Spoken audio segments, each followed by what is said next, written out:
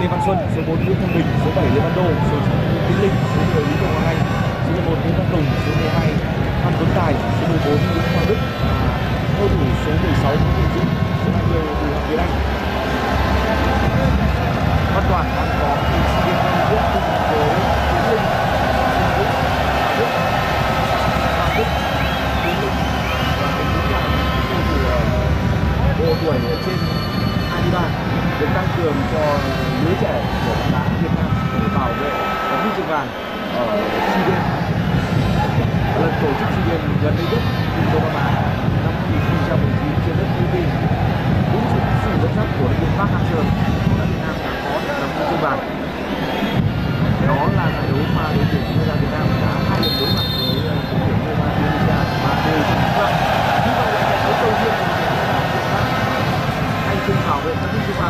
sẽ bắt đầu ở hiệp một của trận đấu này thì đội nhà U23 Việt Nam trong bộ quần áo màu đỏ ở phần sân phía tay phải của các bạn.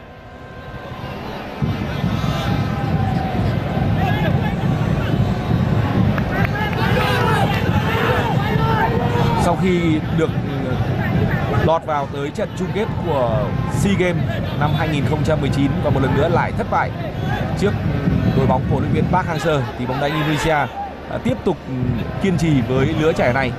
Và vào một năm trước, dưới sự dẫn dắt của huấn luyện viên Shin Tae-yang, chúng ta đã thấy họ tiến bộ ra sao ở AFF Cup. Đó là giải đấu mà Indonesia không thua đội tuyển Việt Nam. Họ hòa chúng ta trong à, trận đấu tại vòng bảng với tỷ số không đều. Và sau đó giành quyền lọt vào trận chung kết chỉ để thua đội à, sau này vô địch giải là Thái Lan với ờ, rất nhiều những con người đã tham dự AFF Cup ờ, năm ngoái. Thì huấn luyện viên Sintayong cũng như chính các cầu thủ công tỏ ra rất tự tin với chiến dịch chinh phục đỉnh cao ở SEA Games này. Trong quá khứ, bóng đá Indonesia đã hai lần giành tấm huy chương vàng ở SEA Games. Đó là lúc từ rất lâu rồi vào năm 1989 và 1991 kể từ khi môn bóng đá nam ở SEA Games chỉ còn là cuộc chơi của các cầu thủ trẻ Indonesia đã có 3 lần lọt vào trận chung kết nhưng chưa hề có một chiến thắng Những trận đấu gần đây giữa Indonesia và Việt Nam luôn là những trận đấu có tốc độ rất cao, nhiều sức mạnh và đương nhiên không thể thiếu những tình huống va chạm. Và chúng ta có thể thấy là ngay ở những phút đầu tiên trận đấu này thì à, đội tuyển Indonesia đã có những thiếu phạm lỗi. Đây là Hùng Dũng. Vẫn là Hùng Dũng. Rất khỏe. Văn Xuân. Tiếp tục là một quả đá phạt cho cao thủ U23 Việt Nam. Lúc này thì à, đội tuyển chúng ta vẫn đang chơi ép sân. Đây cũng là điều dễ hiểu thôi. Chúng ta dù sao vẫn được đánh giá cao hơn với à, chất lượng cầu thủ trong đội hình. Chúng ta đang là đương kim vô địch của giải đấu và được chơi trên sân nhà trước rất đông các khán giả có mặt trên sân vận động à, Việt Trì Phú Thọ ngày hôm nay. Mặt sân ngày hôm nay cũng rất đẹp. Và đương nhiên là với tất cả những lợi thế đang có thì đội tuyển của chúng ta sẽ nỗ lực để có được lợi thế sớm vươn lên trước cao thủ U23 Indonesia. Đứng trước bóng đang là đội trưởng Hùng Dũng. rõ ràng là được chơi trong một bầu không khí như này thì chắc chắn là cầu thủ, những người chủ nhà à, sẽ có được sự hưng phấn nhất định và những phút đầu tiên của trận đấu sau khi có được những pha chạm bóng, đội quân của huấn luyện viên Park Hang-seo đã tràn sang phần sân đối phương với một sự hứng khởi quả đá phạt của Hùng Dũng phạt góc. Bên phía cánh trái cho đội chủ nhà áo đỏ. Người vừa đánh đầu phá bóng là Jawari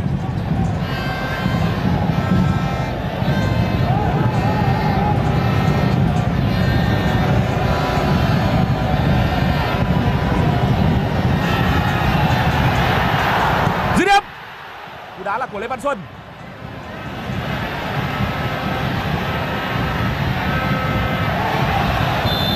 Pha tranh chấp có lẽ là của Thanh Bình. Không phải.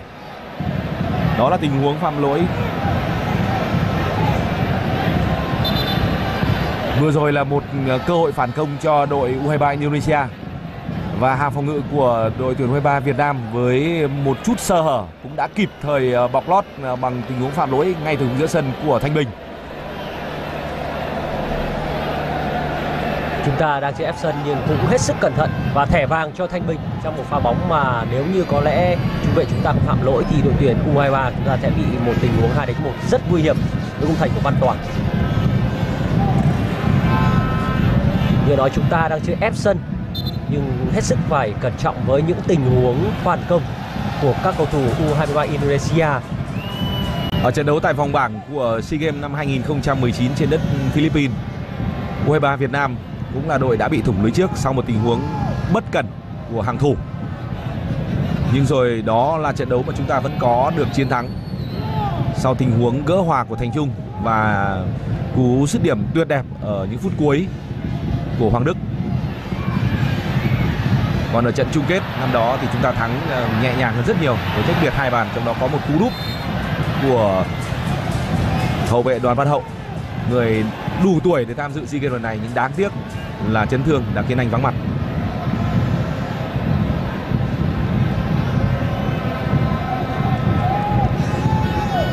Với một tình huống chớp thời cơ để có thể phản công và pha dâng cao vừa rồi của đội bóng áo xanh, tôi có cảm giác rằng đội bóng của huấn luyện viên Shin Tae-yong sẽ không chỉ chơi tử thủ như cái cách mà họ đã chơi ở AFF Cup trước đội tuyển quốc gia Việt Nam. Đúng không anh Quốc Hưng? Điều này đã được dự báo trước vì uh, những thông tin ở những buổi tập gần đây của các thủ Indonesia thì họ tập tấn công biên rất nhiều và ngày hôm nay chúng ta có thể thấy là các cầu thủ Indonesia đang chơi với sơ đồ 4231 cũng có thể chuyển đổi thành 433. Đây là một sơ đồ tấn công khác hoàn toàn với sơ đồ mà đội tuyển Indonesia đã thủ hòa trước đội tuyển Việt Nam tại vòng bảng của AFF Cup năm 2020.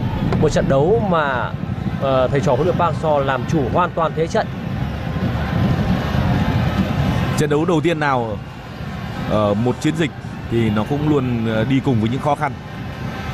Lợi thế có sự cổ vũ của các cổ động viên trên ờ, sân Việt Trì cũng kèm theo là áp lực dành cho đội bóng của huấn viên Park Hang-seo và chơi bóng là của Hoàng Đức.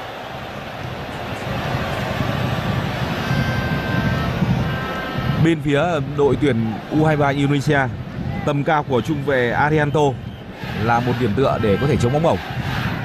Nhưng ở chiều ngược lại thì ừ, trong đường xuất phát của đội tuyển U23 Việt Nam vào lúc này có rất nhiều những cầu thủ ừ, cao lớn. Nếu Tiến Linh không thể giải quyết được vấn đề với những tình huống bóng bổng, thì ờ, Thanh Bình hay Bùi Hoàng Việt Anh vẫn có thể sẽ là những phương án khác để có thể giải quyết được những pha bóng tầm cao. Thể hình của Văn Tùng cũng ờ, rất ấn tượng. Văn Tùng cũng là một tiền đạo trên cao trên 1m80 và khá lâu rồi thì đội tuyển Việt Nam và cũng như đội tuyển U23 chúng ta mới có được một cặp tiền đạo có thể hình lý tưởng tới như vậy. Chính xác là như thế. Ở SEA Games năm 2019 người đã gặp với Tiến Linh là Hạ Đức Trinh và khẩu súng hai nòng đó đã khai hỏa, có thể nói là cực kỳ đều đặn. Bây giờ thì chúng ta chờ đợi xem Tiến Linh và người đàn em của mình là Văn Tùng sẽ chơi cùng nhau như thế nào. Nhưng trước tiên là pha giành bóng của Hoàng Đức.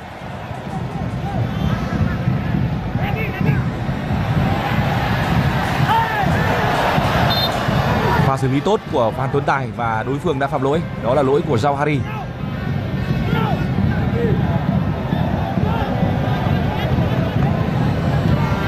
Tài là một những phát hiện rất mới của đội Park So trước khi SEA Games này diễn ra trong một khoảng thời gian ngắn thôi.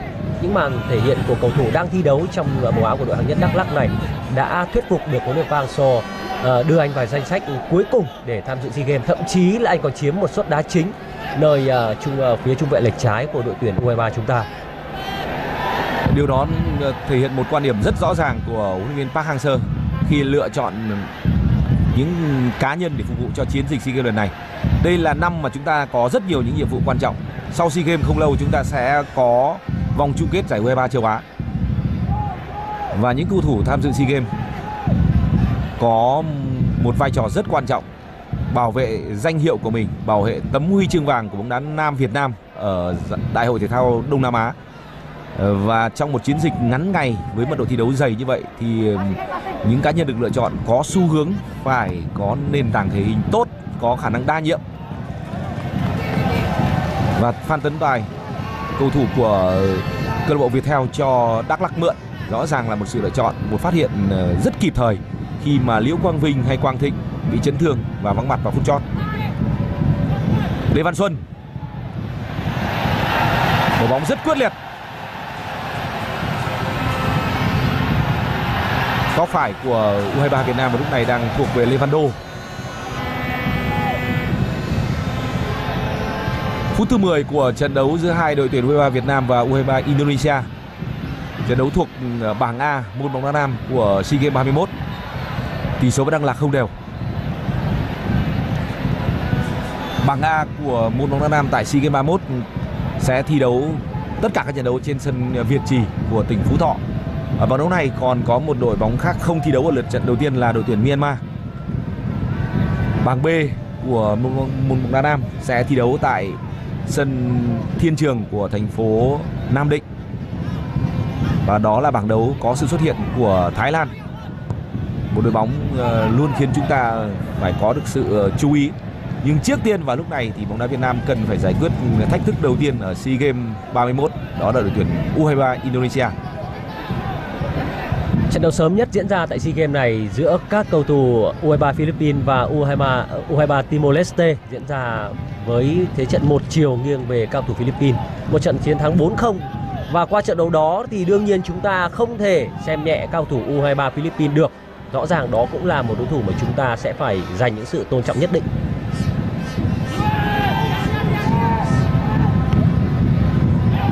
Rồi thì chiều cao của trung vệ Arianto đã phát huy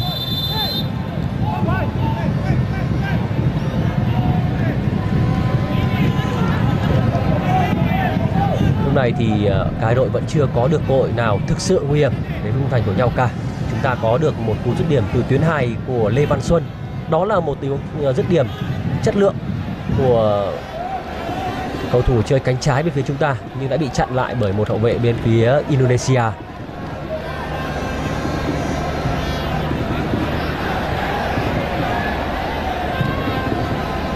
Khi trận đấu này thì huấn luyện viên Shin Tae-yong đã phàn nàn rất nhiều về chất lượng, về mặt sân tập, về kích thước của mặt sân tập tại Tam Nông. Nhưng ở trước trận đấu này khi ờ, được chơi trên ờ, mặt sân Việt Trì thì ông rất hài lòng. Bất kỳ trận đấu nào khi thi đấu với cao thủ Indonesia thì huấn luyện viên Van Hang-seo luôn tỏ ra khá lo lắng. Tuấn Tài quả bóng rất quyết liệt của cao thủ Indonesia.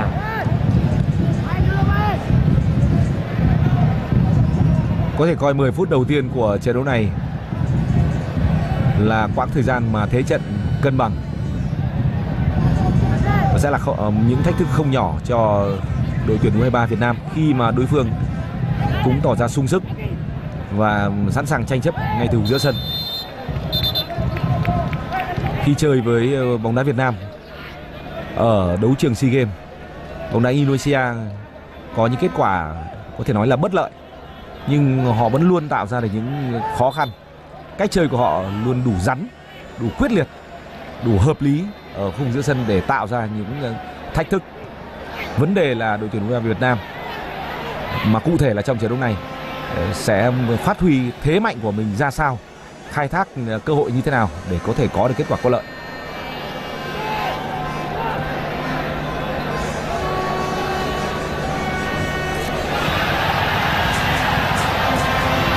Hoàng Đức Lý Công Hoàng Anh Trong số 3 tiền vệ trung tâm trên sân lúc này của đội bóng áo đỏ thì Hoàng Đức đang là người đá thấp nhất.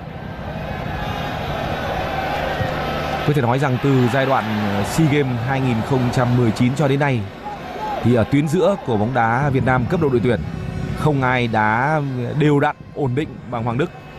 Nền tảng kỹ thuật cũng như thể lực của cầu thủ này đủ để anh có thể duy trì được một lối chơi có tính bao quát cao. Khả năng kiểm soát tốt và có thể chia sẻ được ừ, cả những nhiệm vụ khác với các đồng đội.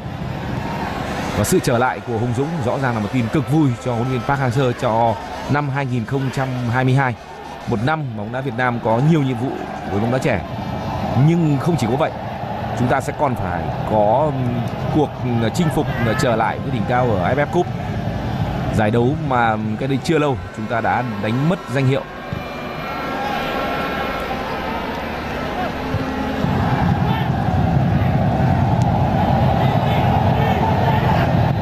Với Hoàng Đức thì có thể nói đây là một cầu thủ cực hiếm của bóng đá Việt Nam. Một cầu thủ thực sự rất toàn diện. Thời gian gần đây thì khả năng tranh chấp sau đó chuyển đổi trạng thái của Hoàng Đức thực sự là một cái vũ khí rất nguy hiểm của đội tuyển quốc gia Việt Nam cũng như là đội tuyển U23 Việt Nam. còn đối với Hùng Dũng thì rõ ràng anh chính là những mảnh ghép thực sự không thể thiếu được ở các cấp độ đội tuyển anh luôn có mặt ở tất cả các điểm nóng có mặt trên sân Tổ trọng tài làm nhiệm vụ ở trận đấu này là các trọng tài của AFC. Người điều khiển trận đấu trong tài chính là một người Hàn Quốc, ông Choi Huynh. Trợ lý thứ nhất là ông Salibayev người Kyrgyzstan. Trợ lý thứ hai là ông Kenzo Hassan, người Liban và trọng tài thứ tư là ông Askanani, người Kuwait. Phan Tuấn Tài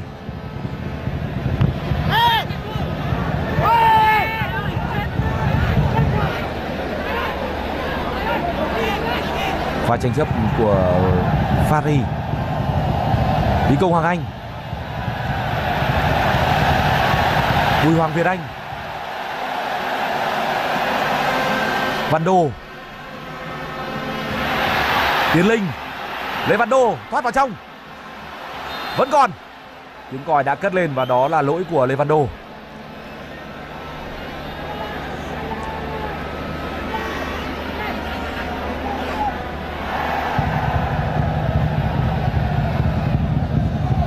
3 trận đấu gần nhất giữa đội tuyển U23 Việt Nam và U23 Indonesia thì chỉ có một trận đấu chúng ta có được chiến thắng tương đối dễ dàng, đó là trận chung kết SEA Games 2019 tại Philippines.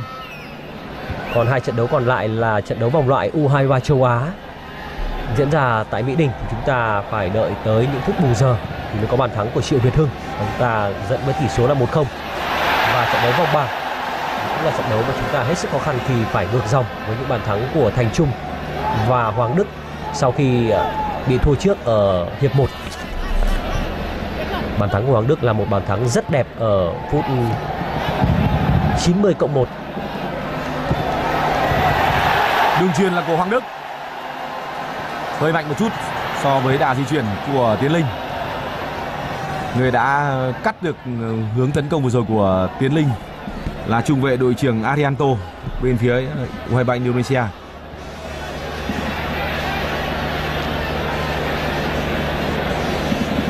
Tại kỳ SEA Games này có lẽ vị trí tiền đạo là một những vị trí mà huấn luyện Park sẽ lo lắng nhất.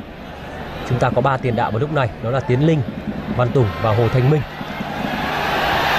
Và trước giải đấu này thì cũng đã có những thông tin về chấn thương của Tiến Linh. Nhưng cuối cùng ngày hôm nay thì anh cũng đã có tên trong đường xuất phát với sơ đồ 352 của đội tuyển U23 Việt Nam. Chúng ta cùng cầu mong cho Tiến Linh có được thể trạng tốt nhất để cùng các cầu thủ đàn em của mình chơi thật tốt ở giải đấu năm nay chúng ta sẽ phải bước qua Indonesia ngay ở trận đấu đầu tiên và sự có mặt của Tiến Linh trên hàng công sẽ là một việc rất tốt cho cao thủ của chúng ta. Đấy là Hoàng Đức, Việt Ơi! Chắc chắn là cao thủ Indonesia không thể quên được tình huống nâng tỷ số lên 2-1 của Hoàng Đức. Trong trận đấu mà họ đã dẫn bàn trước trong hiệp đấu đầu tiên trên sân vận động Rizal tại Philippines. Một tuyệt phẩm sút xa ở phút thứ 91 cũng ở một cự ly như thế này. Một cú demi volley làm cháy lưới của thủ thành Quintana.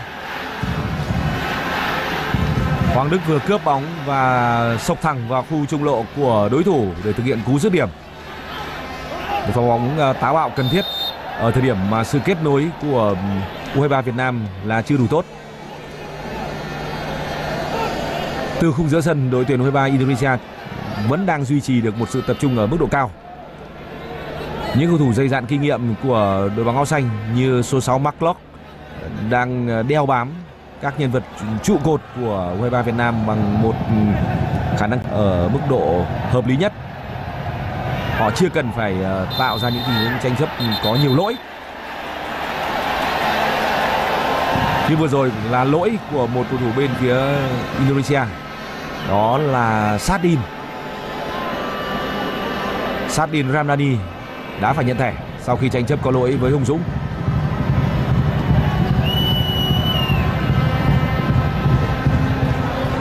Có nhiều thông tin cho rằng là Ramdhani sẽ phải trở về phục vụ cho câu lạc bộ của anh tại giải vô địch quốc gia Malaysia ngay sau khi trận đấu giữa U23 Việt Nam và U23 Indonesia kết thúc.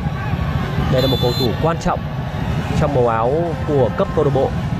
Anh đang thi đấu tại Sabat tại giải vô địch quốc gia Malaysia người đang đứng thứ hai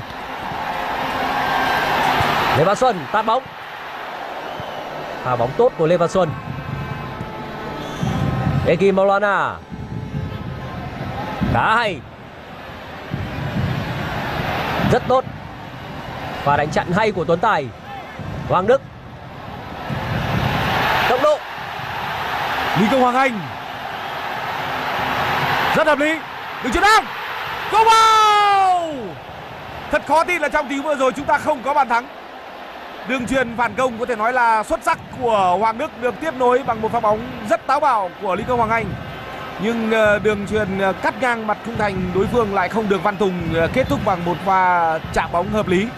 Chúng ta cùng xem lại cơ hội bị bỏ lỡ cực kỳ đáng tiếc của đội tuyển U23 Việt Nam. Chúng ta đã thấy được rõ hơn lý do tại sao Văn Tùng không chạm được bóng. Đã có pha chạm chân của Arianto ở khoảnh khắc cuối cùng.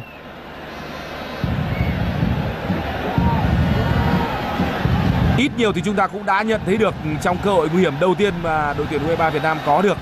Đó là bản lĩnh, là chất lượng chơi của những cá nhân có kinh nghiệm.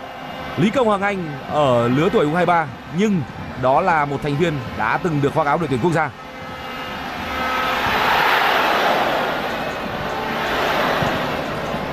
Vừa rồi có thể coi là một tình huống mà hàng phòng ngự của Indonesia đã gặp may mắn khi mũi giày của trung vệ Arianto đã cứu thua cho à, U23 của Indonesia. Chỉ một chút một chút nữa thôi thì chúng ta đã tiến tới được bàn thắng đầu tiên của giải đấu này rồi. Khá tiếc cho pha chuyền bóng của Lý Công Hoàng Anh và Văn Tùng cũng đang ở một vị trí rất ấn tượng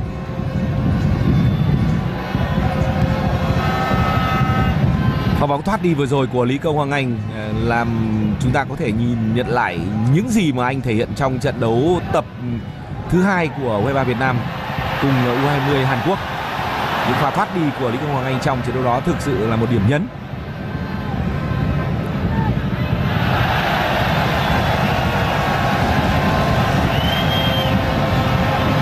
Ở hiệp 11 thì ờ, chúng ta đã biết Đường xuất phát của U23 Indonesia vẫn không có được những cái tên được coi là cực kỳ quan trọng.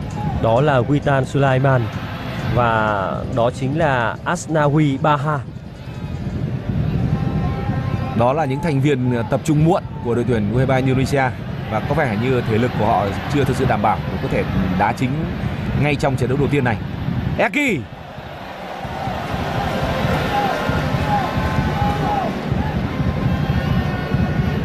Eki là cầu thủ sớm sang châu Âu chơi bóng nhưng anh không thành công lắm với những gì thể hiện ở Ba Lan. Gần đây thì có vẻ như Eki đã tìm được cảm giác chơi cần thiết khi có mặt thường xuyên hơn ở giải Slovakia.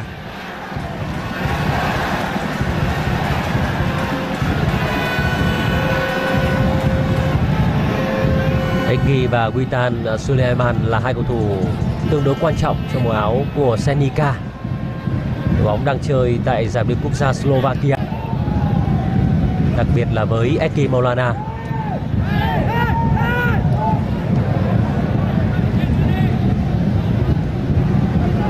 Vị trí của McCallum là một vị trí mà huấn luyện viên Sidayong đã quyết định loại một tiền vệ rất hay, đó là Ivan Zaya cầu thủ ghi nhiều bàn thắng nhất cho đội tuyển Indonesia tại vòng loại World Cup cũng như là ghi nhiều bàn thắng nhất cho đội tuyển U23 của Indonesia tại uh, kỳ SEA Games trước và tại kỳ ờ, uh, FF vừa ờ, uh, AFF vừa diễn ra thì anh cũng đã có 3 bàn thắng trong áo của đội tuyển Indonesia. Đây là Tiến Linh. Đường Việt Anh sút xa.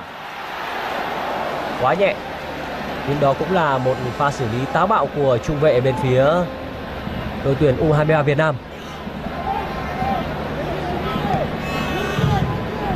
Bóng đã khẽ chạm chân một cầu thủ Indonesia và giảm lực đi rất nhiều.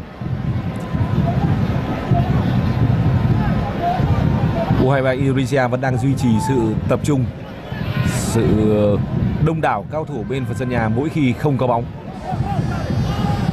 việc ờ, huấn luyện viên Sitayang có sự cẩn trọng trước năng lực của U23 Việt Nam là điều tất yếu.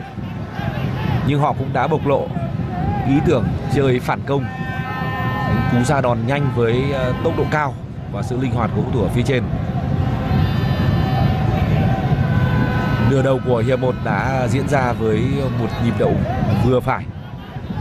Cơ hội lớn nhất thuộc về đội tuyển U23 Việt Nam với à, đường căng ngang của Lý Công Hoàng Anh đáng tiếc ờ, trong pha bóng đó, đội chủ nhà áo đỏ đã không thể có được pha kết thúc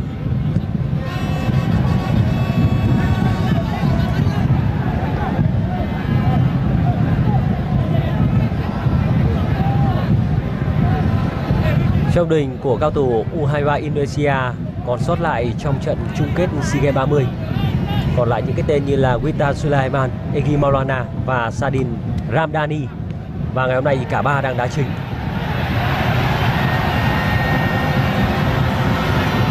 Văn Tùng. Pha đổi hướng không chính xác của Văn Tùng. Đó là cầu thủ trẻ của câu lạc bộ Hà Nội.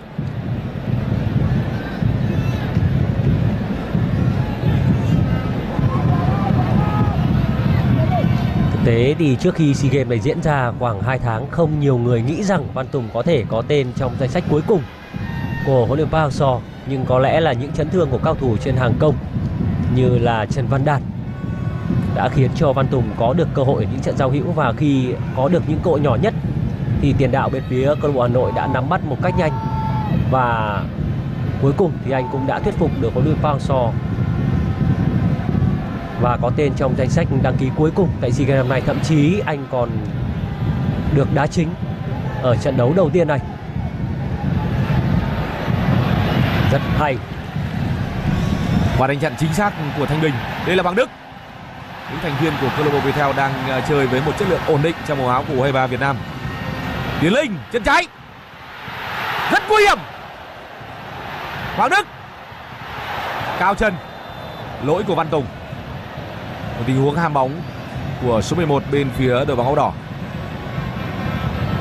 Trước đó thì chúng ta đã thấy ờ, Tiến Linh ờ, thử vận may của mình bằng một cú dứt điểm từ xa trong khuôn khổ vòng loại của World Cup 2022 khi hai đội tuyển quốc gia Việt Nam và Indonesia đối mặt nhau, ở hai lượt đi và về thì Tiến Linh trận đấu nào cũng có một bàn thắng.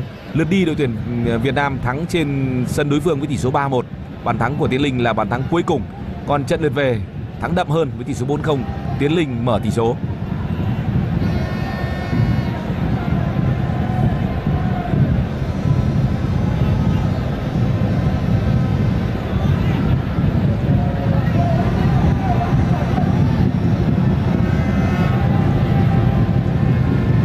rõ ràng là với việc Tiến Linh có được thể trạng tốt, sẽ giúp cho hàng công của đội tuyển U23 Việt Nam có được sự tự tin hơn ở những trận đấu và những giải đấu giao hữu trước thêm SEA Games thì hàng công là một nỗi lo rất lớn đối với huấn luyện viên Park Hang-seo. Chúng ta không có được những bàn thắng tại giải đấu giao hữu bên Dubai. Trận đấu mà hàng công không ghi nổi một bàn thắng nào. Và ngay cả hai trận đấu gặp các cầu thủ U20 Hàn Quốc thì mỗi trận đấu cũng chúng ta cũng chỉ ghi ờ, được một bàn.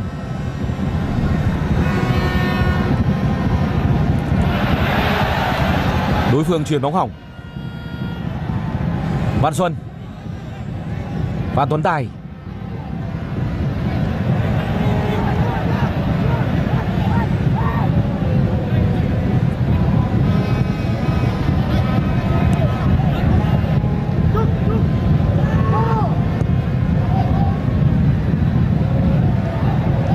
Văn Xuân. Hoàng Đức. Chất lượng kỹ thuật của Hoàng Đức rõ ràng là một sự vượt trội khác biệt rất nhiều so với phần còn lại.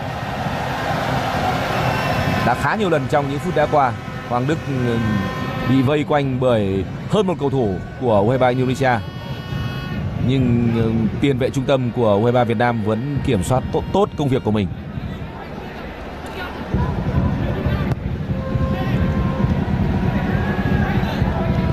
Hùng Dũng người băng lên là Văn Xuân.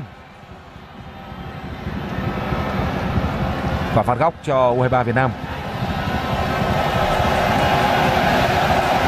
Rõ ràng là ở những phút vừa qua thì hàng tiền vệ của chúng ta chơi tốt hơn với việc ép sân và tạo ra được một số cơ hội về phía ông Thành của thủ môn Adisachio. Người đá phạt góc đó là Lê Văn Xuân. Đánh đâu? Hơi cao một chút so với đà băng vào của Thanh Bình. Bàn thắng cuối cùng của đội tuyển quốc gia Việt Nam trong khuôn khổ vòng loại World Cup 2022 vào lưới của đội tuyển Nhật Bản thuộc về Thanh Bình. Và đó là pha bóng mà Thanh Bình cũng như Bùi Hoàng Việt Anh trong lần đầu được đá chính cùng nhau ở đội tuyển quốc gia đã cùng phối hợp để ờ, đánh bại sự chống đỡ của Yoshida, một trung vệ tên tuổi bóng đá Nhật Bản. Rõ ràng là tầm vóc ờ, của những cầu thủ thuộc ờ, lứa trẻ bóng đá Việt Nam như Thanh Bình hay Bùi Hoàng Việt Anh là một sự cải thiện cực kỳ cần thiết cho bóng đá Việt Nam và đó cũng là lý do mà họ vững vàng trong vai trò của những trụ cột ở đội tuyển U23 Việt Nam tại ờ, SEA Games lần này. Nếu như ở lần đầu xuất hiện tại vòng loại World Cup, Thanh Bình gặp khó thì mắc ờ, những sai sót ở trận đấu gặp đội tuyển Trung Quốc thì rồi sau đó những lần xuất hiện tiếp theo đã đem đến sự tự tin ờ, đáng kể cho những cầu thủ như ờ, Thanh Bình và bây giờ thì chúng ta đang có một ừ, lứa trẻ ở SEA Games nhìn chung là rất ừ, vững vàng về mặt thể hình, chững chạc về phong cách. Tất nhiên đây là trận đấu mà chúng ta vẫn đang có những khó khăn nhất định khi công phá khung thành đối phương. Nhưng cũng cần phải thấy rằng đây là lúc mà chúng ta phải đối mặt với một đội Indonesia cũng không kém phần từng trải, dù cũng là những người ít tuổi Đội xuất phát của Indo ngày hôm nay có tới 5 cầu thủ đã ra quân trong trận đấu mà đội tuyển Indonesia hòa đội tuyển Việt Nam tại à, vòng bảng của AFF Cup năm 2020. Và vừa rồi tiếp tục lại là một pha phạm lỗi nữa của cao thủ Indonesia. Và cầu thủ phạm lỗi đó là Rahmat Irianto, tiền một trong hai tiền vệ trung tâm của Indonesia trong trận đấu này cùng với Ricky Kamboya Quả đá phạt có khoảng cách cỡ khoảng 26 mét. Liệu đây có phải là một cơ hội dành cho Hoàng Đức hay không? Bóng được đặt check bên phía cánh phải tức là thuận cho cái chân trái của Hoàng Đức.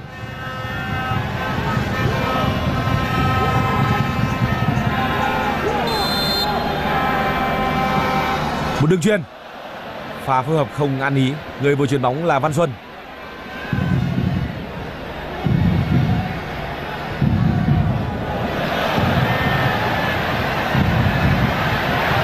Lý Công Hoàng Anh là người vừa can thiệp.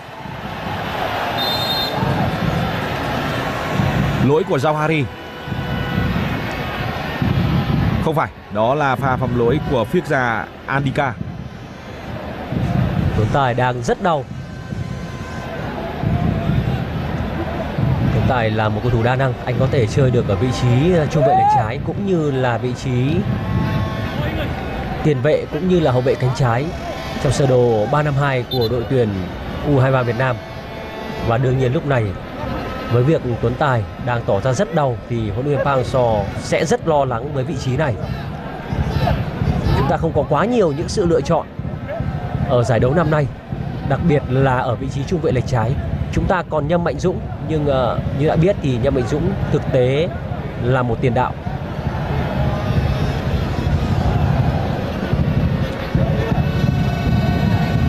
Nếu như ờ, lúc này hàng thủ chúng ta có thêm đoàn văn hậu nữa thực sự là một điều không thể tuyệt vời hơn. Một hàng thủ có những cầu thủ cao trên 1m85 Bùi Hoàng Việt Anh Thanh Bình và Đoàn Văn Hậu. Một hàng thủ có thể hình thực sự rất tuyệt vời. Thay người rồi thay người rồi Tuấn Tài đã khóc Tuấn Tài đã khóc anh Tùng ạ Vâng thực sự đó là một pha tranh chấp rất đáng tiếc và đây không phải là lần đầu uh, chúng ta phải đối mặt với uh, hình ảnh này khi uh, giáp mặt uh, bóng đá Indonesia. Chúng ta cùng lại xem lại pha tranh chấp dẫn đến uh, chấn thương của Tuấn Tài. Thực sự đó là một pha bóng mà nếu như trọng tài có rút ra một tấm uh, thẻ màu đỏ thì ờ, cũng không có gì là quá nặng. Vì ý đồ chơi của cầu thủ đối phương rõ ràng là không lành chút nào. Chúng ta sẽ cùng cầu mong cho Tuấn Tài không làm sao cả. Cơ hội cho cao thủ Việt Nam. Hoàng Đức. Thực sự mỗi lần Hoàng Đức cầm bóng xem rất thích mắt. Đánh đầu của Văn Tùng. Nhưng đương nhiên là với những tình huống đánh đầu như vừa rồi thì không thể trở thành một cơ hội nguy hiểm được.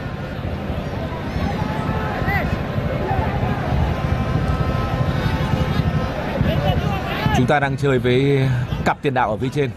Đã khá lâu rồi, bóng đá Việt Nam mới chơi theo ờ, phong cách này. Và cả hai tiền đạo ờ, trên sân đều là những người có tầm vóc. Bóng bầu cũng có thể là một ờ, giải pháp, nhưng tôi chờ đợi những pha phù hợp, những pha di chuyển kéo người của hai cá nhân này để tạo ra sự kết nối, tạo ra những tình huống có cơ hội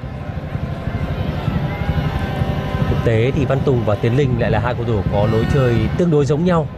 Nhưng cho thấy rằng ở thời điểm hiện tại, huấn luyện viên Park Hang-seo cũng không có quá nhiều những sự lựa chọn có thể tốt hơn nữa. Hồ Thanh Minh là một cầu thủ có thể à, bù đắp được cho Tiến Linh cũng như Văn Tùng, nhưng có lẽ là kinh nghiệm cũng như là khả năng của cầu thủ này rất khó để huấn luyện viên Park Hang-seo xếp cho anh chơi trong đường chính thức. Và tiếp tục là một thẻ vàng nữa dành cho cao thủ Indonesia và chúng ta sẽ cùng xem thẻ vàng dành cho ai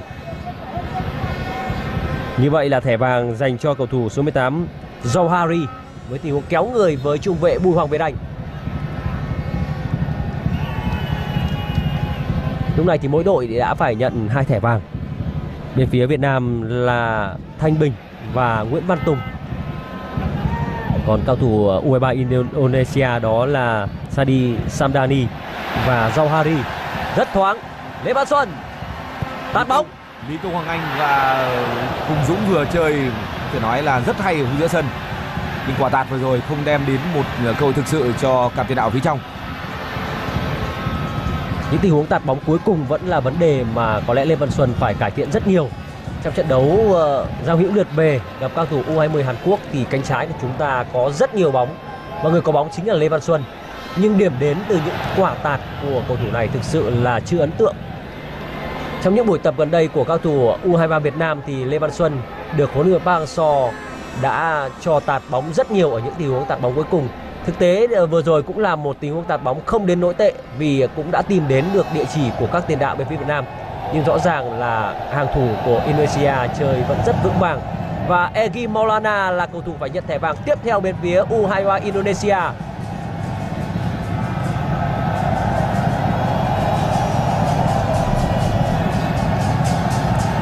Thoát xuống biên và thực hiện những quả tạt.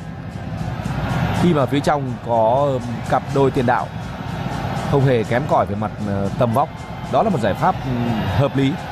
Nhưng chúng ta cần phải ờ, có được độ chuẩn mực ở mức độ cao hơn, có tính quy ước ờ, rõ rệt hơn từ điểm tạt cũng như điểm xuất hiện của các mục tiêu ở phía trong.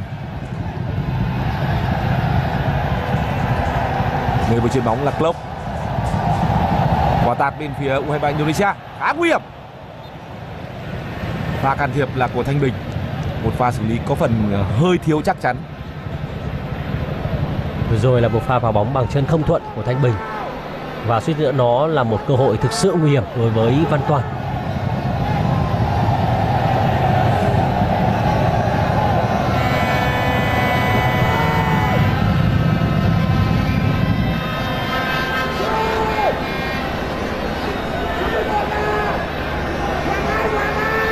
Người đã phạt góc đó là McClock Không yên tạ, không an toàn. Một pha ra vào thực sự là không ấn tượng đến từ Văn Toàn. Thực sự là một pha bóng thót tim đối với các fan mộ của U23 Việt Nam.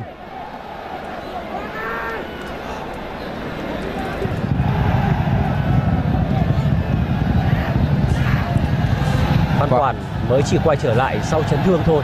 Và có lẽ những trận đấu căng thẳng như thế này cũng sẽ đôi phần làm cho Văn Toàn có phần căng cứng.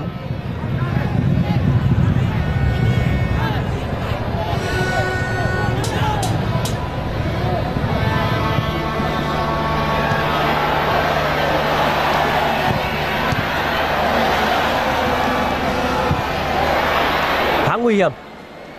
Và derby volley từ khá xa của cao thủ Indo thuộc về à, Ada Adika.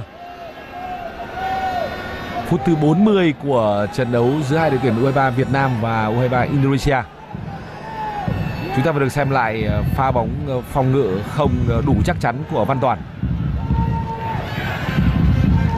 Thủ môn của câu lạc bộ Hải Phòng đã chọn điểm rơi thực sự là không tốt.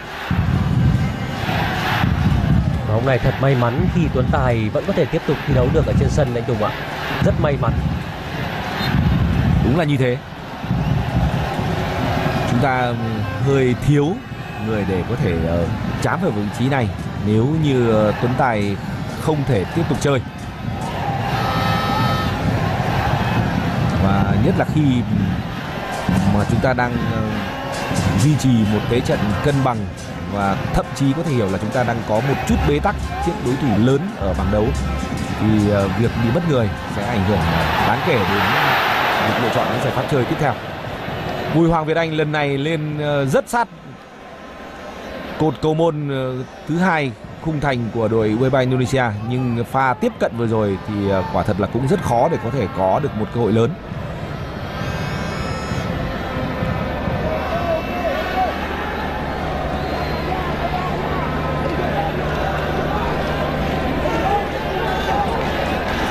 Với vị trí ờ, tiếp cận vừa rồi của Bùi Hoàng Việt Anh thì một đường truyền ờ, cắt ngang khung thành đối phương vào trong có lẽ sẽ đem đến một cơ hội lớn hơn cho U23 Việt Nam so với một đường ờ, dứt điểm ở góc gần.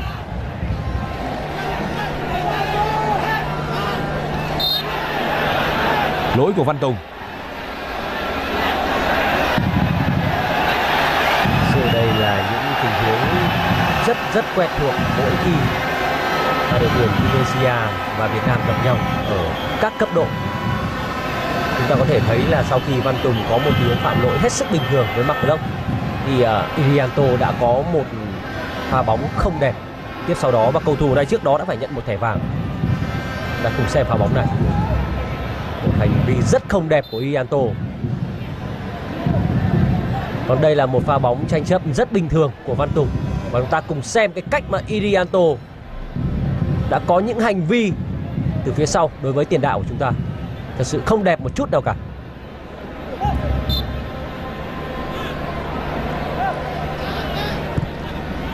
Trong những trận đấu trước đây thì Indonesia thua Việt Nam ở cấp độ đội tuyển cũng như là U23 thường đến từ những trận đấu mà Indo họ không chơi bóng đá.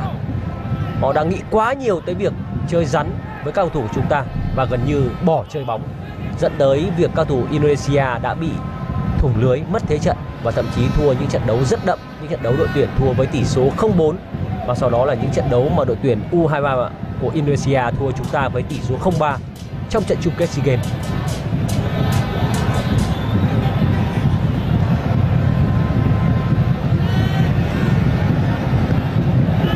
Văn Xuân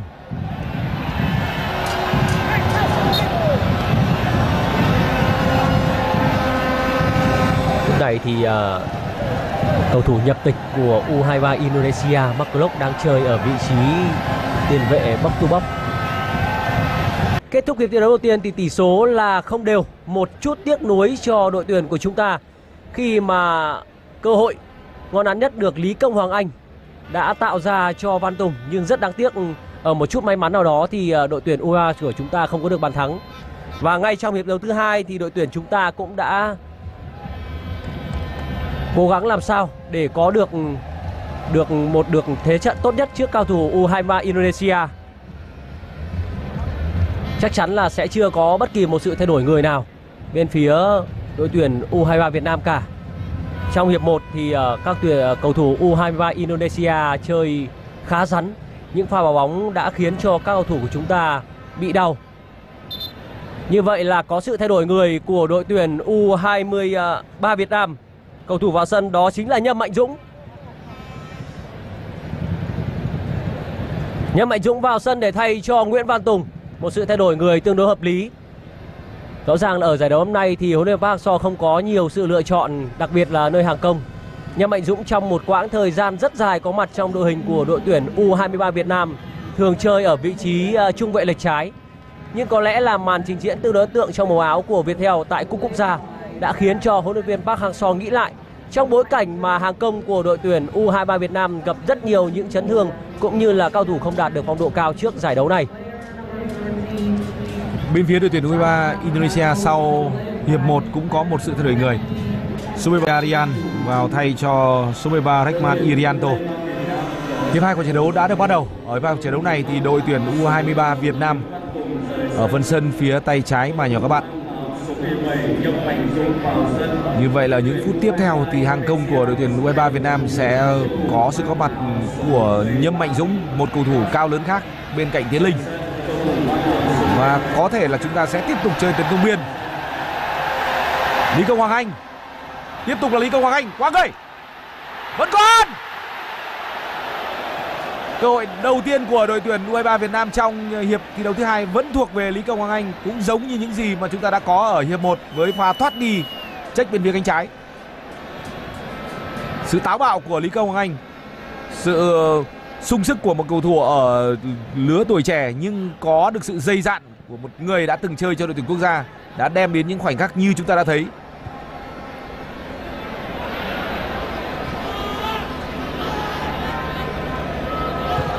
trong phần lớn thời gian ờ, chuẩn bị cho ờ, chiến dịch SEA Games này, đã không ờ, ít lần có những nghi ngại cho phong độ của Lý Công Hoàng Anh, nhưng chỉ cần một trận đấu cuối cùng, trận kiểm tra đội hình chính với đội tuyển U20 Hàn Quốc, người ta đã nhìn thấy một Lý Công Hoàng Anh có chất lượng đúng với những gì mà mọi người vẫn đang chờ đợi. Và thực sự thì ở những phút đã qua của trận đấu, Lý Công Hoàng Anh là một trong những người đá tốt nhất bên phía đội bóng áo đỏ.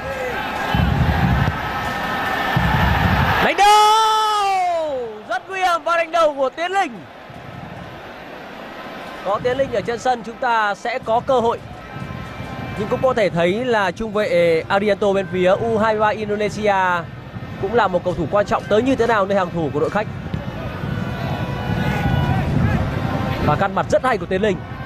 Có vẻ như đây là lúc mà huấn luyện viên Park Hang-seo đã hoán đổi vị trí của hai hậu vệ biên Lê Văn Xuân đang sang bên phải và Văn Đô đảo sang bên trái. Những quả tạt của Văn Xuân bên phía cánh trái trong hiệp 1 là chưa đủ để tạo ra những ờ, cơ hội thực sự. Và với pha bóng vừa rồi thì mọi chuyện đã có được sự khác biệt, có sự cải thiện đáng kể. Đây là điều tương đối dễ hiểu vì rõ ràng Lê Văn Xuân là cầu thủ thuận chân phải và khi anh phải sang cánh trái thì ờ, những chất lượng ở những đường tạt bóng cuối cùng ở chân không thuận sẽ khó khăn hơn rất nhiều. Tiếp tục là lỗi của cao thủ Indonesia. Người phạm lỗi đó là Fiza Anika. Như vậy là cả hai cầu thủ đã rời sân của Việt Nam cũng như là Indonesia trong uh, hiệp thi đấu thứ hai này đều là những cầu thủ đã phải nhận thẻ vàng trong hiệp 1. Nguyễn Văn Tùng bên phía U23 Việt Nam và cầu thủ Rekmat Irianto bên phía U23 Indonesia. Có thể, có thể nhận thấy là các cầu thủ Indonesia vẫn đang tiếp tục duy trì lối chơi đeo bám rất là quyết liệt, áp sát nhưng chất lượng tranh chấp của họ không phải ở mức độ quá tốt Điều đó chúng ta có thể nhìn thấy trong những uh, tình huống ờ, phạm lỗi của họ, số thẻ vàng mà họ đã phải nhận cho đến lúc này. Trong chỉ riêng hiệp 1 thôi thì Indonesia đã phải nhận tới 4 thẻ vàng, một con số rất lớn. Và ngay ở những phút đầu tiên của hiệp đấu thứ hai này thì ờ, các cầu thủ U23 Việt Nam của chúng ta đang tràn ra phần sân của đội khách và liên tiếp tạo ra được những cơ hội. Hoàng Đức đánh đâu không được và ra vào chính xác của thủ thành Adisancio vẫn là cơ hội. Đánh đầu vừa rồi đó là Nhâm Mạnh Dũng. Nhâm Mạnh Dũng cũng là một cầu thủ có thể hình rất ấn tượng. Anh cao à, trên một m tám mươi.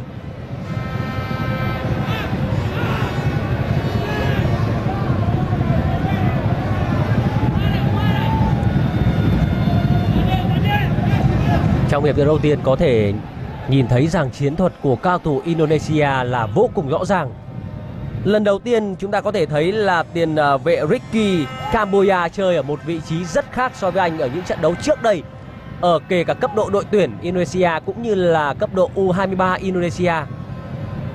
Camboya Ricky chơi ở vị trí cao nhất nơi hàng tiền vệ có lẽ không phải là để phát triển tấn công, mà là ở một vị trí anh đã theo chặt Hoàng Đức gần như không cho ngòi nổ bên phía chúng ta có được một à, khoảnh khắc nào thư giãn nhất trong hiệp đấu đầu tiên nhưng chúng ta có thể thấy là Hoàng Đức vẫn có thể thoát đi được sự kèm cặp của Ricky Camoya và tung cho uh, Lý Công Hoàng Anh một đường truyền trong hiệp 1 và đó chính là cơ hội nguy hiểm nhất của chúng ta kể từ đầu trận đấu.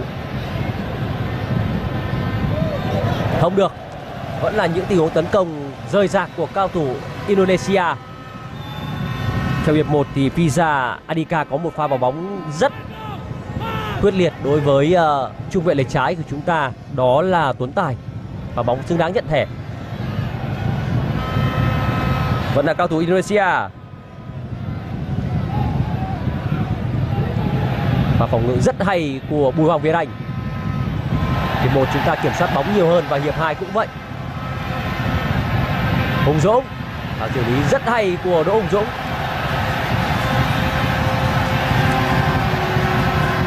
Đường truyền của Levando.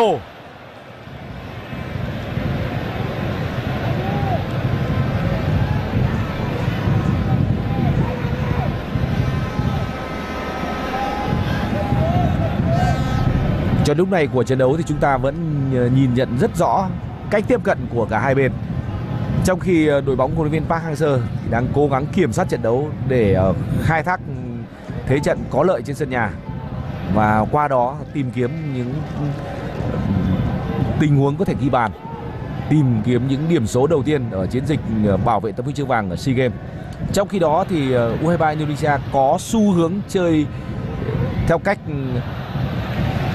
đeo bám và phá ý tưởng chơi của đội tuyển U23 Việt Nam nhiều hơn là cố gắng à, tổ chức những tình huống kết nối, tổ chức những tình huống ờ, phối hợp để có thể có được những kết quả tốt.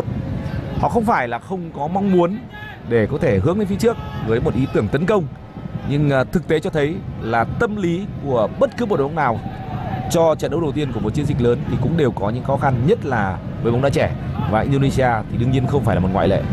Họ cũng căng thẳng và những pha phối hợp có phần vội vã của cầu thủ áo xanh khi đẩy là đã khiến cho họ không có được nhiều những pha bóng đủ chất lượng.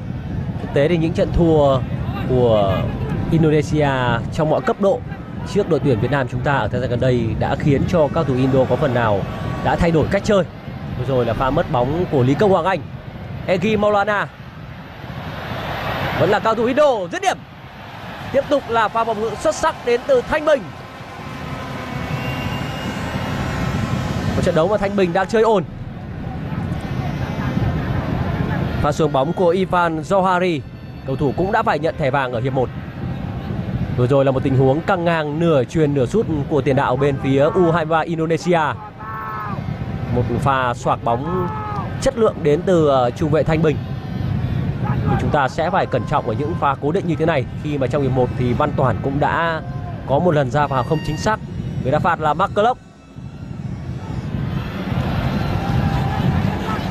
Bóng vừa chạm đầu của Tiến Linh. Phan Tuấn Tài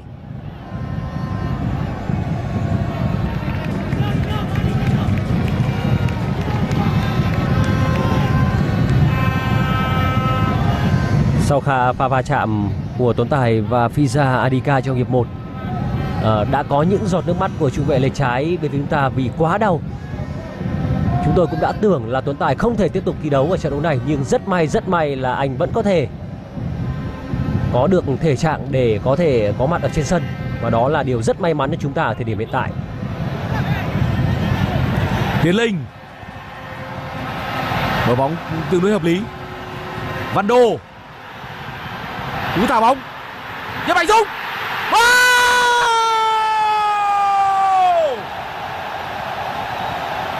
cố đẩy người chạm bóng cuối cùng là tiến linh. Nhưng trước đó thì các cầu thủ của đội tuyển u23 Việt Nam đều đã chơi có thể nói là chính xác. Tiến Linh là người mở đầu cho pha tấn công vừa rồi với đường mở bóng bên phía cánh trái. Levando thoát đi và thả quả bóng có thể nói là vừa tầm cho Nhâm Mạnh Dũng, người vào sân từ ghế dự bị. Tiếp tục tạo ra được sự khác biệt và khoảnh khắc quan trọng nhất thì Tiến Linh là người đã kết thúc chính xác để đem đến bàn mở điểm cho đội tuyển U23 Việt Nam. Điều mà chúng ta đã chờ đợi ờ, hơn một hiệp đấu cuối cùng cũng đã đến. Xứng đáng, rất xứng đáng thôi anh Tùng ạ. Với những gì chúng ta đã thể hiện trong ờ, hiệp 1 cũng như là hiệp 2 trận đấu này, chúng ta cầm nhiều bóng hơn, tạo ra được nhiều cơ hội hơn.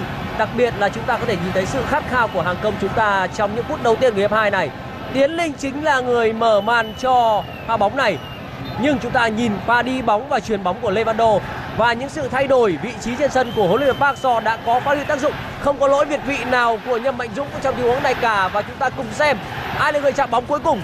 Tiến Linh, Tiến Linh là người chạm bóng cuối cùng chứ không phải là chân của hậu vệ Indonesia. Pha chuyển bóng quá hay của Levando. Tiến Linh một pha đệm lòng chính xác Chúng ta tăng cường ờ, hàng tấn công bằng một cầu thủ cao to. Nhưng ờ, không phải là tình huống tấn công bóng bổng đâu cả. Một pha phối hợp ờ, ở đoạn ngắn với những cú thả bóng vào khe có thể nói là cực kỳ chính xác của cầu thủ áo đỏ đã làm nên chuyện. Sự khác biệt giữa đội tuyển U23 Việt Nam và U23 Indonesia cuối cùng đã được thể hiện qua bàn thắng vừa rồi. Với bàn thắng này, có lẽ là trận đấu sẽ cởi mở hơn và chúng ta sẽ chơi dễ dàng hơn trước một Indonesia chơi từ thủ trong hiệp đấu đầu tiên.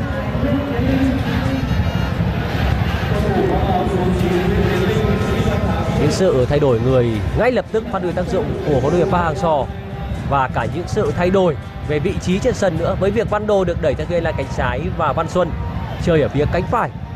Một pha đi bóng quá hay của Lê và pha chuyền bóng điểm 10 của anh đã tạo ra cơ hội cho Nhâm Mạnh Dũng chuyền bóng cho Tiến Linh mở tỷ số trận đấu này. Đây là tốc độ của Tiến Linh. Được. Có một cầu thủ của U23 Việt Nam đang bị chuột rút ở trên sân.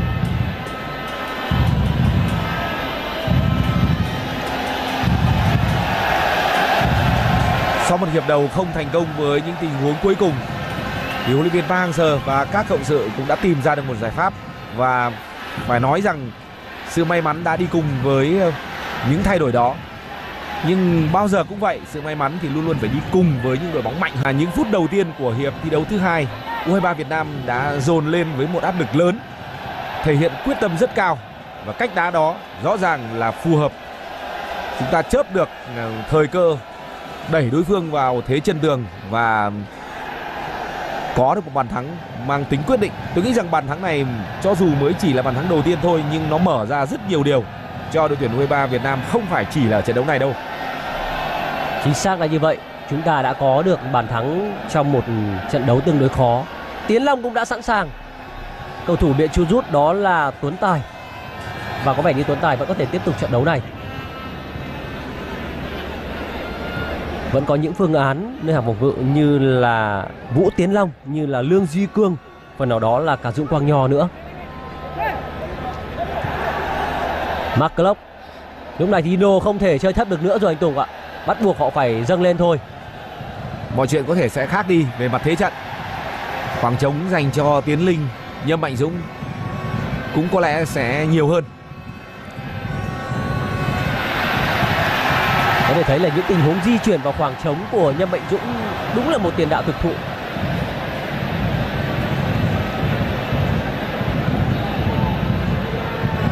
rõ ràng là với việc huấn luyện viên cho sử dụng Nhâm Mạnh Dũng ở một vị trí trên hàng công cũng là một bất ngờ hết sức thú vị của đội tuyển U23 Việt Nam. Cho dù vị trí thực tế của cầu thủ này tại câu lạc bộ mà anh đang chơi, đó là vị trí tiền đạo. Thực ra khi nhìn ừ, danh sách của đội xuất phát trong trận đấu này với Văn Tùng trên hàng công tôi có một chút tôi bất ngờ một chút. Vừa rồi là pha băng lên của Tiến Linh, cú đá ở góc hẹp thì không chính xác. Khi nhìn Tiến Linh đá cặp với Văn Tùng thì tôi có một chút bất ngờ nhưng chúng ta có thể hiểu được sự lựa chọn của huấn luyện viên Park Hang-seo cho trận đấu đầu tiên này. Đó là một cơ hội dành cho Văn Tùng Ờ, và việc không sử dụng như Mạnh Dũng hay Hồ Thanh Minh cho đội xuất phát ở trận đấu đầu tiên cũng là những phương án dự phòng cho những tình huống như chúng ta đã thấy. Nó phải có phương án 2, phương án 3 cho các trận đấu, cho cả một chiến dịch. Và thực tế là phương án 2 của huấn luyện viên Park Hang-seo cùng với đó là sự điều chỉnh hai hậu vệ biên, cao thủ chạy cánh. Chúng ta đã ngay lập tức có một ờ, tình huống ghi bàn. Thực ra tôi rất thích uh, câu nói của anh Tùng đó là Indonesia trước khi thủng lưới họ tìm cách phá lối chơi của đội tuyển U23 Việt Nam và điều đó thực tế hiệp 1 xảy ra rất nhiều. Liên tiếp là những pha phạm lỗi với 4 thẻ vàng cùng đó là với việc Ricky Camboya chơi ở vị trí cao nhất nơi hàng tiền vệ một điều chưa bao giờ xảy ra ở đội tuyển U23 uh, ờ, Indonesia cũng như là cấp độ đội tuyển quốc gia cả. Và giờ thì Lý Công Hoàng Anh đang gặp vấn đề ờ, có lẽ là chuột rút thôi, không phải là một vấn đề quá lớn vì chấn thương. Đây là một trận đấu căng thẳng với một cường độ rất cao.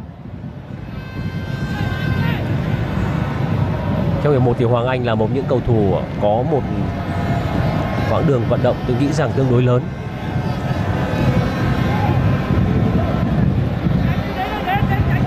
Những uh, khuôn mặt hết sức quyết tâm của các tuyển thủ U23 Việt Nam chúng ta.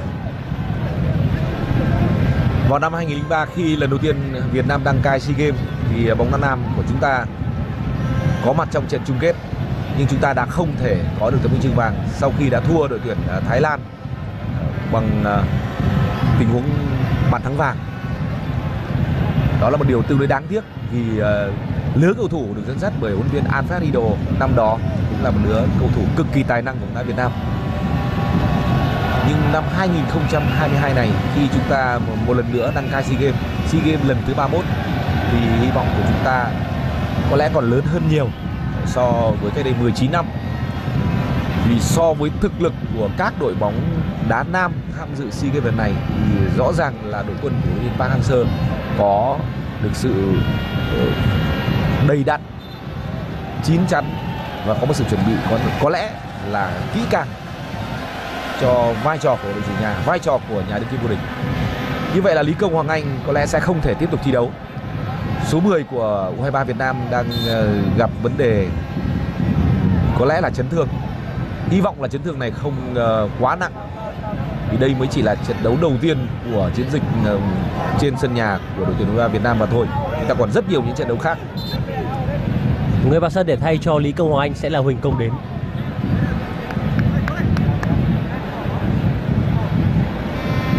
Một trận đấu mà trận đấu này Lý Công Hoàng Anh cũng là một những cầu thủ có một quãng đường di chuyển khá ấn tượng trong hiệp đấu đầu tiên.